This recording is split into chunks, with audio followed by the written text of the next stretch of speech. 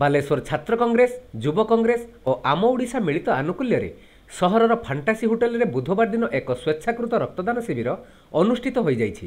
ପୂର୍ବତନ କେନ୍ଦ୍ରମନ୍ତ୍ରୀ ଶ୍ରୀକାନ୍ତ ଜେନା ମୁଖ୍ୟ ଅତିଥି ଭାବେ ଯୋଗ ଦେଇ ଶିବିରକୁ ଉଦ୍ଘାଟନ କରିବା ସହ ଆୟୋଜକଙ୍କ ପ୍ରୟାସକୁ ସାଧୁବାଦ ଦେଇଥିଲେ। ସମ୍ପ୍ରତି ଜିଲ୍ଲାରେ ଦେଖାଦେଇଥିବା ରକ୍ତର ଅଭାବକୁ ପୂରଣ କରିବାରେ ଏହିଭଳି ଶିବିରର ଆୟୋଜନ ହେବାର ଆବଶ୍ୟକତା ରହିଛି।